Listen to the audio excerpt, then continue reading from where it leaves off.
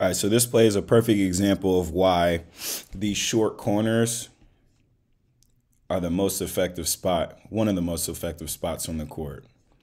Short corners and high post. So as we see, Syracuse is in their infamous 3 2. Okay, usually coaches tell players to stand on the block. This is the block right here, but notice where Bacot is. He's not on the block, he's in the short corner. Okay, notice what that does. Can he see this defender? No, he cannot see him.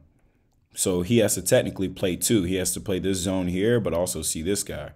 So let's continue the footage. Ball gets reversed. Look, he has no idea that the big is switching sides of the floor. Look, still, I don't know. This guy needs to be dropping like five seconds ago. Why is he so high and so late?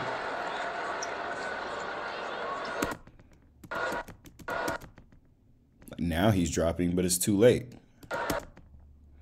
Because look, he can guard too. That's that short corner. Now, if he was on the block, he would be able to be in the passing lane. But because he's in the short corner, we call that the dunker position in the NBA because that's usually what happens. Power of the short corner.